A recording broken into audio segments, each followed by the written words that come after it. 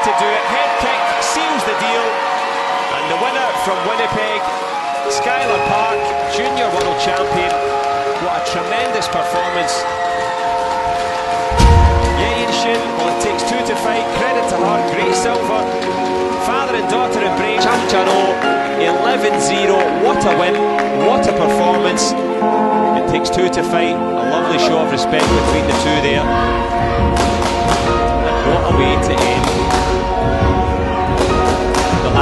Final of today, day two here,